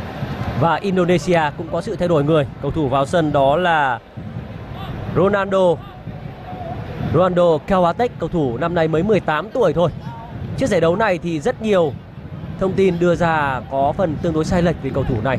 Nghĩ anh là một cầu thủ nhập tịch nhưng không phải là như vậy.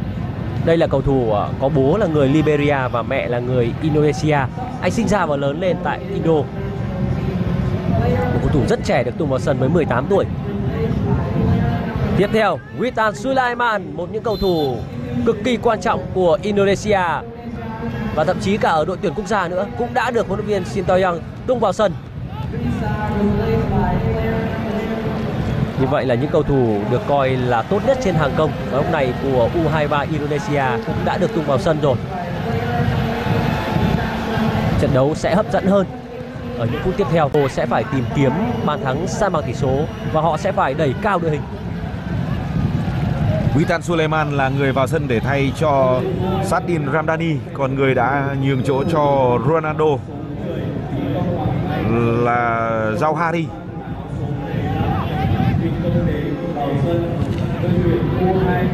Một cầu thủ nữa cũng phải ra sân đó là Adika Cầu thủ vào sân đó chính là Santosa. Santosa là cầu thủ mang áo số 2 Trong khi đó thì à, Andika là cầu thủ mang áo số 3 Cầu thủ đã có tình huống vào bóng rất nguy hiểm đối với Tuấn Tài của chúng ta trong hiệp đấu đầu tiên. Một tình huống lẽ ra là cầu thủ này phải nhận một thẻ vàng đến từ trọng tài người Hàn Quốc.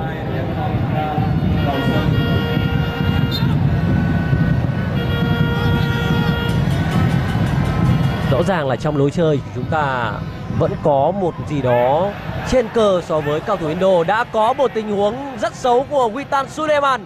Cái cánh tay thừa của số 8 cần phải có những sự khắt khe hơn đến từ các trọng tài. Ta cùng xem lại pha bóng này. Rõ ràng là như vậy. Đây là một lỗi hành vi. Đôi khi à, không gây quá nhiều những sự nguy hiểm cho các cầu thủ, nhưng những hành vi như vậy cần phải được ngay gạt bỏ trong hiệp 1 thì rõ ràng là cầu thủ à, ờ, Redmark Irianto cũng có một hành vi không đẹp đối với Nguyễn Văn Tùng của chúng ta. Lê Văn Xuân rất hay, vẫn là Lê Văn Xuân chân trái.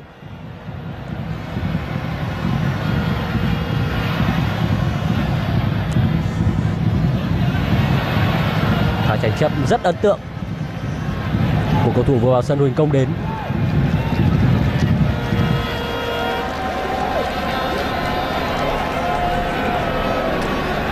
Và lúc này thì đến lượt các cầu thủ U23 bên phía Indonesia gặp vấn đề về thể trạng.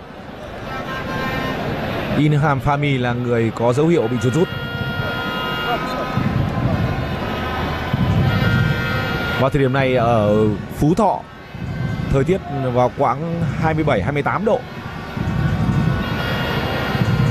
Đây là một điều kiện thời tiết có lẽ là phù hợp, không quá nắng nóng, không oi bức.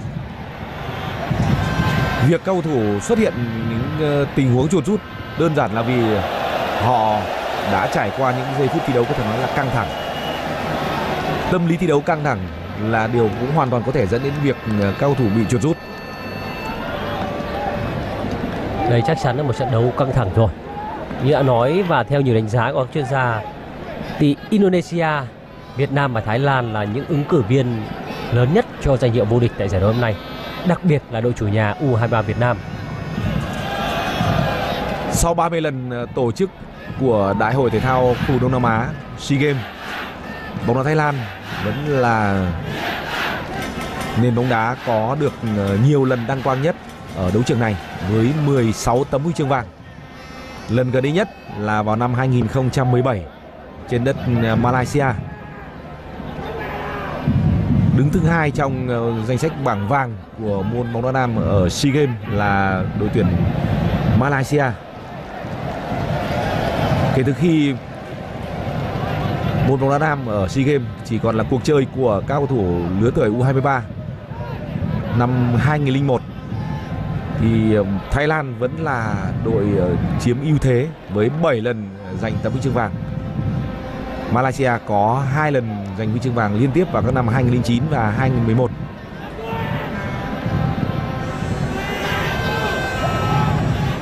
Ở đấu trường SEA Games thì bóng đá nữ Việt Nam ừ, là đội tuyển có được thành tích tốt nhất.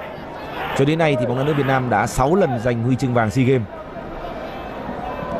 Hai lần liên tiếp ờ, gần đây ở đấu trường ờ, khu vực, bóng đá nữ Việt Nam đều đăng quang.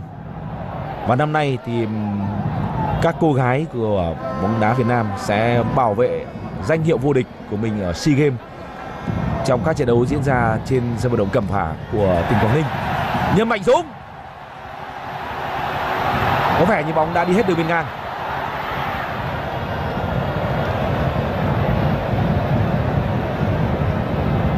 Pha đi bóng trước đó của Nhâm Mạnh Dũng là rất ấn tượng. Nhưng uh, tình huống sau đó thì anh hơi lưỡng lự một chút trong việc đưa bóng vào phía trong. Chân phải cũng không phải là chân thuận của Nhâm Mạnh Dũng. Ở tình huống đầu tiên khi được đưa bóng vào phía trong bằng chân trái, thì Nhâm Mạnh Dũng đã có một pha đưa bóng hết sức chuẩn mực cho Tiến Linh mở điểm trong trận đấu này.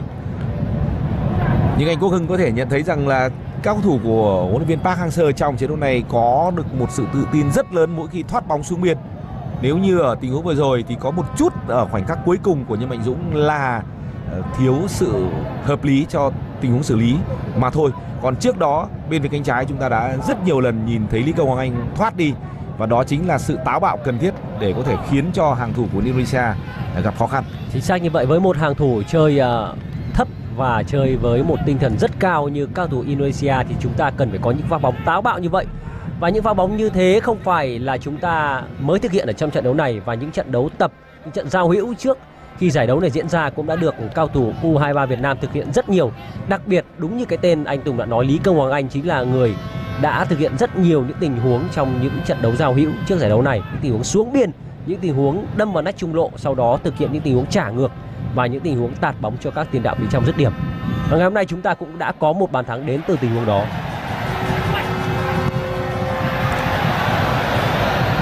Và chuyển bóng hơi đáng tiếc của đội trưởng à, Hùng Dũng dành cho à, Nhâm Mạnh Dũng.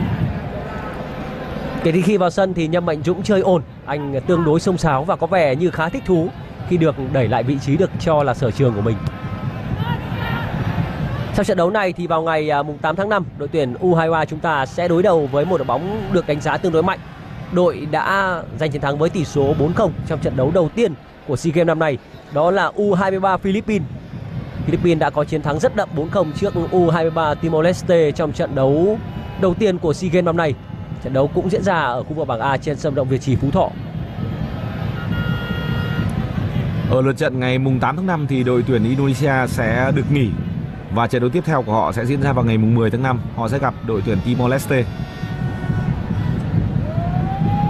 Một ngày sau lượt trận đầu tiên tại bảng A sẽ là các trận đấu đầu tiên của bảng B, bảng đấu có đội tuyển Thái Lan. Và trong ngày thi đấu đầu tiên của bảng B, đội tuyển Singapore sẽ gặp đội tuyển Lào. Rồi ngay sau đó sẽ là trận đấu của đội tuyển Thái Lan gặp đội tuyển Malaysia. Những đội bóng được đánh giá cao nhất của bảng đấu còn lại. Và xử lý không tốt của Huỳnh Công đến. Ronaldo Hoàng Đức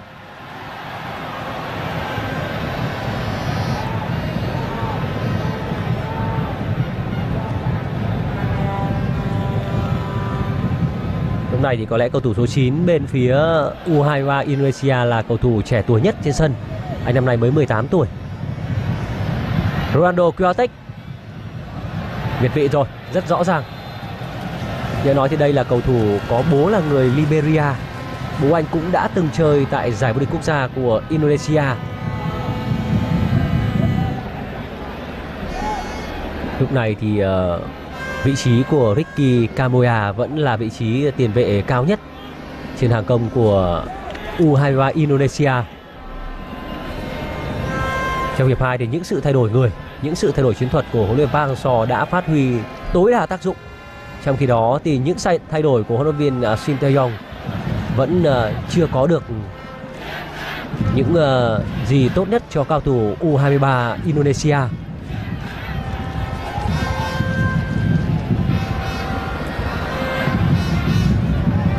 Năm 1991 khi ờ, đội tuyển quốc gia Indonesia giành được tấm huy chương vàng ở SEA Games trên đất Philippines, cũng là năm đầu tiên mà bóng đá Việt Nam trở lại hội nhập với bạn bè trong khu vực. Vào năm trở lại đó thì bóng đá Việt Nam chỉ có được một điểm sau một trận hòa trước đội tuyển Philippines với tỷ số 2 đều. Trong một trận đấu mà cả hai bàn thắng đều thuộc về trung phong Nguyễn Văn Dũng. Vừa rồi là pha tranh chấp có lỗi của Hoàng Đức và thẻ vàng đã được rút ra dành cho tiền vệ của U23 Việt Nam. Đó là pha phạm lỗi với Eki Molona. Vừa rồi đã là thẻ vàng thứ ba của chúng ta trong trận đấu này rồi. Người đá phạt đó là cầu thủ vào sân trong hiệp 2 của U23 Indonesia, Ambi Mayu. Quá đơn giản đối với Văn Toàn. Thực tế thì trong trận đấu này ngoài pha bắt bóng ngoài pha ra vào không thực sự an toàn trong hiệp đấu đầu tiên thì Văn Toàn vẫn đang chơi khá ổn. Hy vọng rằng ờ, sau tình huống đó thì thủ thành của chúng ta sẽ vững vàng hơn, đặc biệt là không còn bị quá căng cứng về vấn đề ờ, tâm lý nữa. Văn Toàn đã có một quãng thời gian chấn thương rất dài và anh cũng mới chỉ quay lại với đội chính thức của U23 Việt Nam trước SEA Games một quãng thời gian ngắn thôi. Chúng ta cần phải có những sự động viên nhất định đối với thủ thành số 1 của U23 Việt Nam ở thời điểm hiện tại.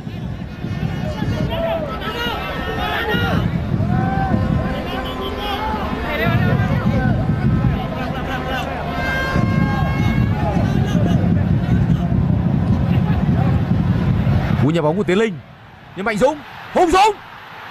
Wow! Tỷ số được nhân đôi cho đội tuyển U23 Việt Nam pha chơi bóng ở trung lộ có thể nói là xuất sắc của cầu thủ áo đỏ lại là một pha phối hợp nữa một lần nữa chúng ta lại phải nhắc đến không phải là tình huống bầu bổng và các tiền đạo cao lớn của chúng ta chơi bóng trên mặt đất có thể nói là cũng không hề kém phần mềm mại so với những người chơi hay nhất ở bóng đá khu vực Đông Nam Á vào thời điểm này.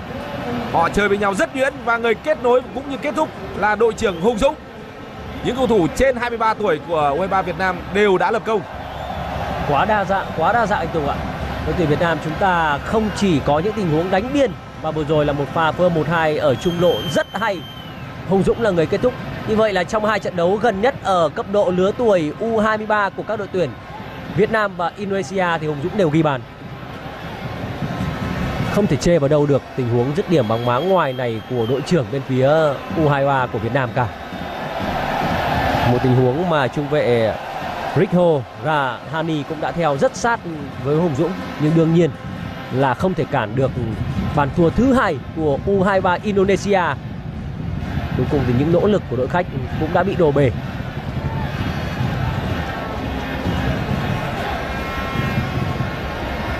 Vai trò của Hùng Dũng, Tiến Linh là quá rõ nét và đương nhiên là Hoàng Đức nữa. Trong khi đó thì vào lúc này ngoài những nỗ lực của hiệp đấu đầu tiên thì những cầu thủ nằm ngoài độ tuổi U23 của các cầu thủ Indonesia vẫn chưa có được những dấu ấn rõ ràng, đặc biệt là cầu thủ nhập tịch người Hà Lan số 6 Mark Anthony Klopp. Arianto thì ngoài tình huống cứu thua trong hiệp 1 thì anh cũng chơi không ấn tượng.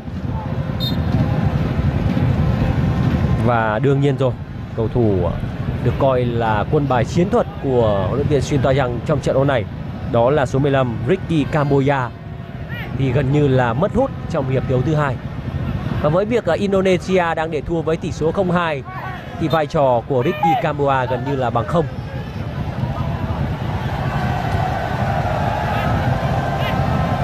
Lúc này thì à, U23 Indonesia đang cần sự sáng tạo ở trên hàng công, nơi hàng tiền vệ và một, với một cầu thủ như là Ricky Camboya thì điều thực sự là không thể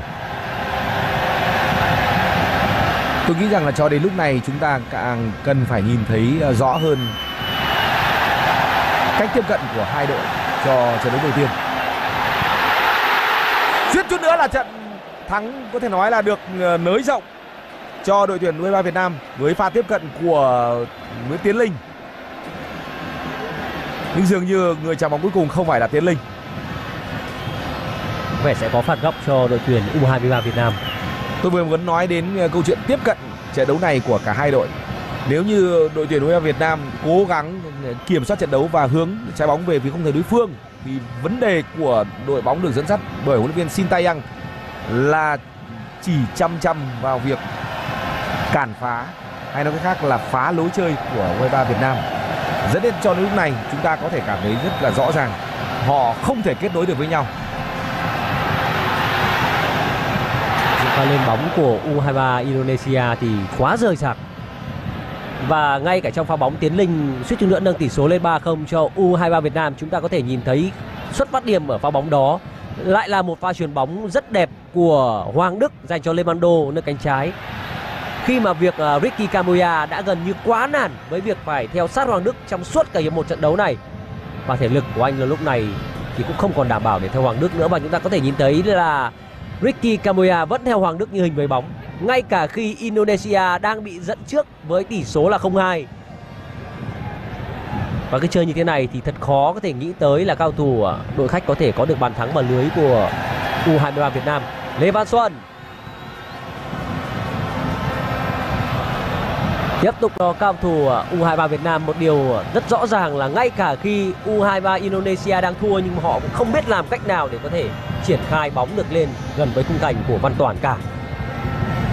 Nếu như trong hiệp một cặp đôi tiền đạo của đội tuyển U23 Việt Nam là Văn Tùng và Tiến Linh gần như không có được sự kết nối và tôi vẫn luôn muốn được ờ, chứng kiến những pha chơi bóng của hai tiền đạo này cùng nhau khi mà đã khá lâu rồi chúng ta không được nhìn thấy một đội tuyển của bóng đá Việt Nam chơi cùng lúc với hai tiền đạo có tầm vóc ờ, gần như tương đương như vậy.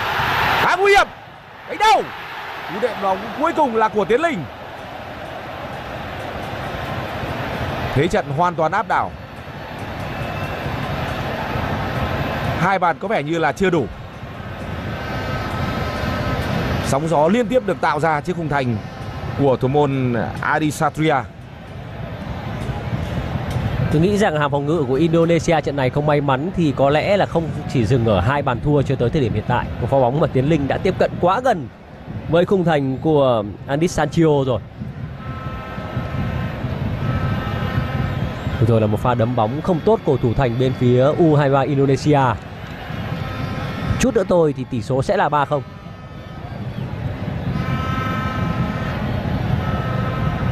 Nếu tỷ số là 3-0 thì có lẽ người vào sân thay Tiến Linh sẽ là Hồ Thanh Minh. Nhâm Mạnh Dũng không được. Đó là một ý định dứt điểm của Nhâm Mạnh Dũng từ khu vực ờ, vòng cung trung tâm. Phút thứ 80 của trận đấu, thắng lợi là rất rõ ràng cho đội tuyển U23 Việt Nam ở ngày ra quân. Mọi người đã quá lo lắng cho thầy trò viên Park Hang-seo ở chiến dịch bảo vệ tấm huy chương vàng trên sân nhà và sự lo lắng đó đã làm cho chúng ta có thể nói là rất dè dặt với việc hướng tới trận đấu đầu tiên gặp đối thủ lớn nhất tại bảng đấu này là đội tuyển U23 Indonesia. Nhưng trên thực tế là sau một hiệp đầu chưa có bàn thắng thì chúng ta cũng có cảm nhận rằng là chúng ta hoàn toàn có thể kiểm soát trận đấu theo cách của mình và không quá lâu sau giờ nghỉ chúng ta đã có được điều mình cần và cho đến lúc này của hiệp 2 thì chúng ta có thể nhận thấy rằng là đội tuyển U23 Việt Nam ở một tầm nhỉnh hơn tương đối đáng kể so với đối thủ. Rõ ràng là như vậy. Một trận đấu mà chúng ta đã kiểm soát hoàn toàn ngay cả khi đội khách với tỷ số là 2-0. Một lối chơi rất thong dong, rất bản lĩnh của cao thủ bên phía U23 Việt Nam. Bùi Hoàng Việt Anh. Đó là sự tự tin nhưng vẫn là một những tình huống phạm lỗi thực sự là rất nguy hiểm của các cầu thủ trẻ bên phía Indonesia. Người vừa phạm lỗi vừa rồi đó chính là cầu thủ vào sân tay người trong hiệp thi đấu thứ hai, Ronaldo Quatek. Tiến Long và Hồ Thanh Minh sẽ là những cái tên tiếp theo được huấn luyện Park So tung vào sân. Có lẽ lúc này là lúc mà Tiến Linh nghỉ ngơi được rồi anh Tùng ạ. Và trên sân uh, Việt Trì Phú Thọ trời đang đổ mưa. Đây là lúc rõ ràng là một số cầu thủ trụ cột của U23 Việt Nam cần phải được cho ra nghỉ. Chúng ta còn một mật độ thi đấu rất dày ở trước mắt. Tiến Linh ra nghỉ là hợp lý rồi. Thanh Minh sẽ là người vào thay thế. Chúng ta cùng xem lại bàn thắng mở tỷ số của Tiến Linh trong trận đấu này. Một bàn thắng rất quan trọng cho một chiến dịch quan trọng. Và điều đáng nói là các tiền đạo của chúng ta đã chơi bóng cùng nhau. Họ đã tạo nên bàn thắng, có thể nói là rất đẹp này.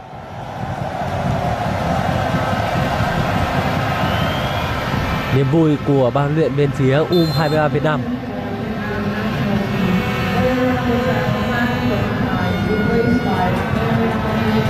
Rất may là thể trạng của Tiến Linh không tập Vâng, ờ, thiếu may mắn cho cao thủ U23 Việt Nam Và ngay sau khi vừa vào sân thì Hồ Thanh Minh đã có tình huống đánh đầu dội cột dọc của cao thủ Indonesia Một sự thay đổi người khác bên phía đội tuyển U23 Việt Nam là ờ, Tiến Long vào thay cho Phan Tuấn Tài còn vừa rồi là pha quay chậm, lại tình huống dứt điểm có thể nói là cực kỳ lợi hại với pha trả bóng đầu tiên sau khi vào sân của Hồ Thanh Minh. May mắn đã không ờ, đứng về phía cầu thủ người dân tộc Tà ôi.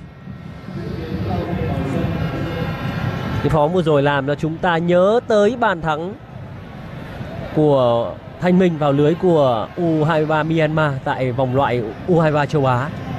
Và ngay sau khi vừa vào sân chỉ được khoảng 10 phút thôi, thì cầu thủ 18 tuổi Ronaldo Quatek lại phải rời sân rồi.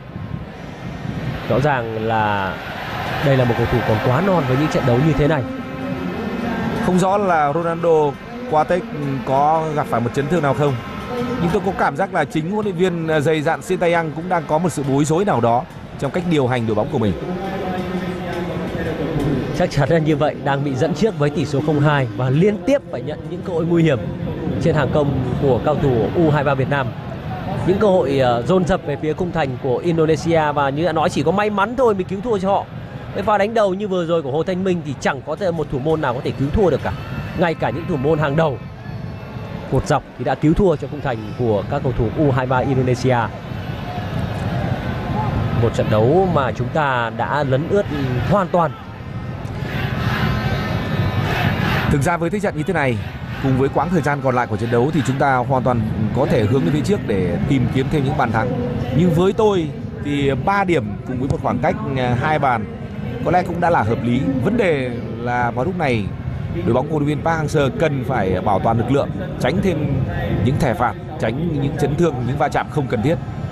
Cách đây khoảng hơn một phút tình huống đẩy bóng sang phần sân đối phương của Bùi Hoàng Việt Anh có phần hơi non. Nó không phải là một sự lựa chọn hợp lý vào thời điểm này với những pha bóng kiểu như thế này của Hoàng Đức cũng vậy cần phải hết sức cảnh giác với cách chơi của các à, cầu thủ Indonesia họ là những người luôn à, thừa sự quyết tâm thừa lối chơi bạo lực Thanh Minh đường truyền quá sâu pha chuyền bóng là của Huỳnh Công đến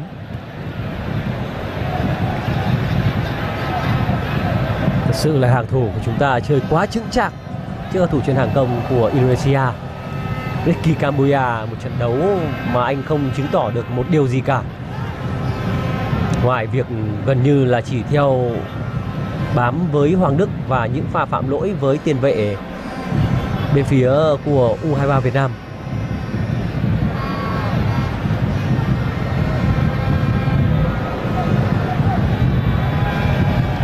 những pha lên bóng thực sự hiếm hoi của cao thủ Indonesia.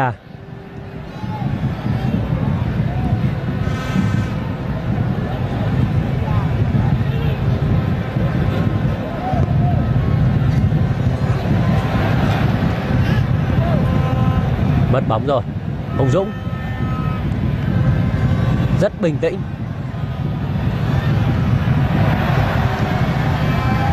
Không có lỗi việt vị của Nhâm Mạnh Dũng. Hoàng Đức Lúc này thì à, đội tuyển chúng ta vẫn đang kiểm soát bóng Và đương nhiên là với lối chơi này thì cao thủ U23 Indonesia sẽ vô cùng ức chế Đang thua nhưng không có bóng để chơi và chúng ta thấy là trình độ của chúng ta Có thể nói vào lúc này là đang hơn U23 Indonesia khá nhiều Và mất bóng của Hồ Thanh Minh. Ferdinand. Egi Maulana. Vẫn là Maulana. Witan Quá nhẹ. Một những pha dứt điểm trúng đích đầu tiên của các cầu thủ Indonesia trong hiệp đấu thứ hai này. Vâng, thực sự là tôi cũng nhớ rằng đó là cú đá trúng đích đầu tiên của cao thủ áo xanh trong uh, trận đấu đầu tiên của họ ở SEA Games 31. Một trận đấu mà đáng lẽ do họ cũng cần phải có một sự khát khao đẩy trái bóng lên phía trước để uh, chinh phục uh, những thách thức được gọi là U23 Việt Nam. Thay vào đó họ lại chơi quá thiên về những tình huống uh, tranh chấp ở khung giữa sân. Muốn phá lối chơi của đội tuyển Việt Nam. Tuyệt vời! Không phải là bàn thắng dành cho Lê Văn Xuân. Nếu như quả bóng đi thấp hơn độ khoảng ờ, 5 cm thôi thì rất có thể đó là bàn thắng cực đẹp. Nhưng vẫn có bàn thắng thứ ba cho đội tuyển U23 Việt Nam. Hàng thủ của đội tuyển U23 Indonesia thực sự đã choáng váng sau cú đá của Lê Văn Xuân và họ đã không còn đứng vững ở tình huống tiếp theo. Và người xử lý vào bóng tiếp theo có lẽ là Lê Văn Đô. Một đường ờ, truyền của Lê Văn Đô, nhưng đã không được kiểm soát tốt bởi hàng phòng ngự của U23 Indonesia và làm bất ngờ thủ môn Adi Satria. 3-0 khoảng cách lại giống với những gì mà chúng ta đã từng có trước đối thủ này ở trận chung kết SEA Games lần gần nhất. Thời điểm mà chúng ta đăng quang. Chúng ta cùng xem lại pha bóng cực kỳ xuất sắc của Lê Văn Xuân. Đây chắc chắn là một pha bóng ờ, sẽ ờ, tạo nhiều cảm hứng cho Lê Văn Xuân và các đồng đội ở những trận đấu tiếp theo. Và vừa rồi là pha bóng mà chúng ta có thể nhìn thấy rõ hơn ai là người đã tạo ra tác động dẫn đến bàn thắng thứ ba của đội bóng áo đỏ. Một tình huống phản lưới nhà của trung vệ Arianto. Rõ ràng là tinh thần của các cầu thủ bên phía U23 Indonesia đã đổ gục sau bàn thua thứ hai anh Tùng ạ. Một hàng thủ gần như là vỡ vụn và với những cái bàn thua như vừa rồi thì có lẽ là chẳng có may mắn nào có thể giúp được U, U23 Indonesia nữa. Cho dù trước đó thì một lần cột dọc và một lần xà ngang đã cứu thua cho đội bóng này. Một tỷ số quá xứng đáng với những gì mà chúng ta đã thể hiện một lối chơi vượt trội, đặc biệt là trong hiệp 2. Hai Long đã vào sân.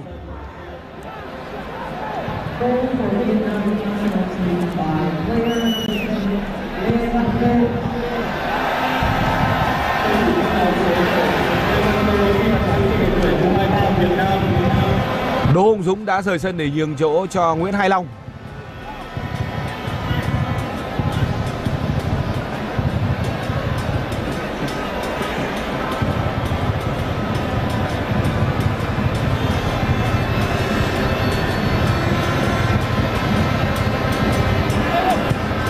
Đường truyền của Bùi Hoàng Việt Anh.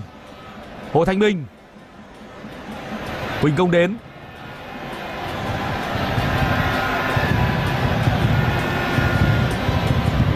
Hoàng Đức.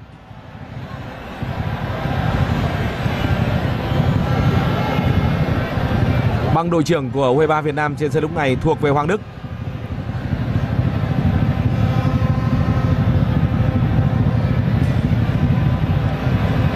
Cú nhào bóng của Levando. Tiếp theo là Hoàng Đức, cú thả bóng dành cho Hồ Thanh Minh.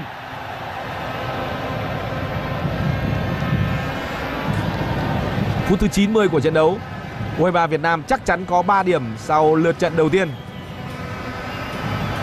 Dẫn đầu bảng A môn bóng đá nam sau lượt trận đầu tiên sẽ là đội tuyển Philippines khi mà họ đang có hiệu số bàn thắng bại là dương 4 nhưng cái cách mà U23 Việt Nam vượt qua đối thủ mạnh nhất trong bảng đấu này là U23 Indonesia mới là điều đáng nói.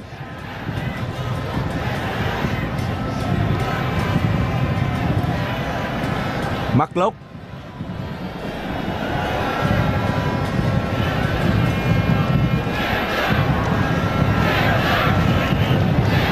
Lê Văn Xuân Sẽ có 4 phút đá bù giờ cho hiệp thi đấu thứ hai. Hồ Thanh Minh. Đột phá.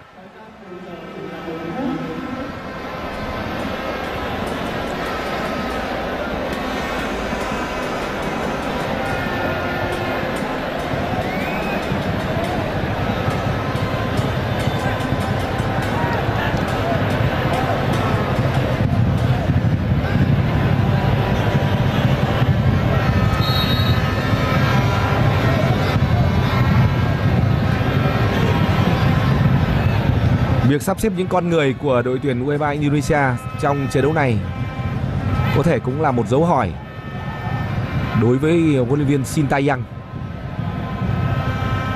Ý tưởng kéo Ricky Camboya lên phía trên, nhưng dường như chỉ giữ vai trò kiểm soát Hoàng Đức, tiền vệ tổ chức của U23 Việt Nam, cũng như đẩy số 6 Mark Lốc một tiền vệ tấn công, một người luôn nổi bật trong ờ, những pha uy hiếp xuống sâu hơn. Dường như đã khiến cho Mark ừ, mất đi ờ, những gì được gọi là hay nhất của mình. Trong khi tuyến giữa của U23 Indonesia thì vẫn không hoàn toàn kiểm soát được trận đấu, đặc biệt là trong hiệp thi đấu thứ hai.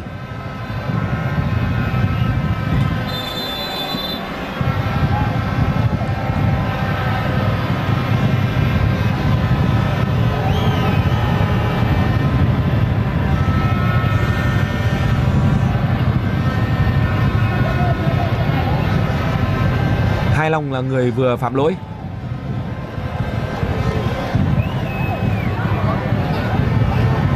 Hai Long là một trong số những người được tập trung muộn nhất, Được đăng ký muộn nhất cho U23 Việt Nam tại SEA Games lần này. Nhưng đó là một trong những cầu thủ nổi bật ở lứa U23 vào thời điểm này. Đó là người đã để lại nhiều dấu ấn trong màu áo của câu lạc bộ Than Quảng Ninh tại V-League chắc chắn là màn trình diễn của Hai Long nếu có, ở SEA Games này cũng là một trong những điều mà các cổ động viên bóng đá Việt Nam à, chờ đợi.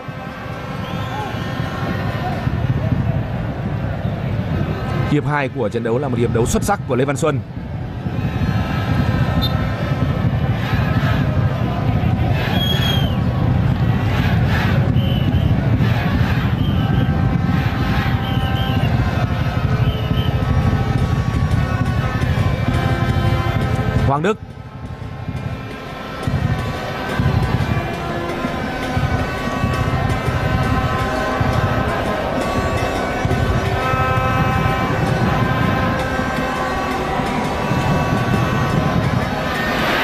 Rất nhịp nhàng Nhâm Mạnh Dũng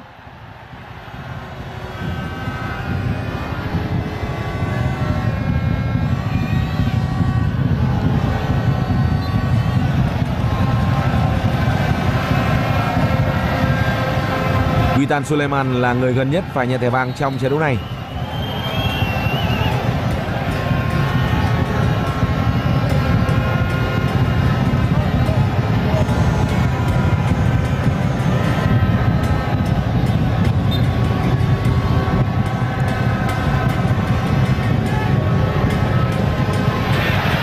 Qua người của Nhâm Mạnh Dũng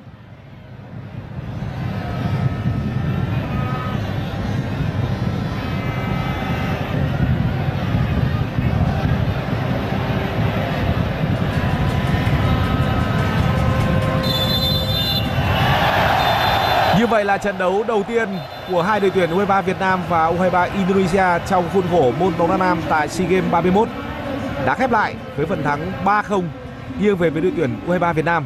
Một chiến thắng thuyết phục của đội chủ nhà, của đội đương kim vô địch. Tiến Linh, Hùng Dũng và một tình huống đá phản của cầu thủ phòng ngự bên phía U23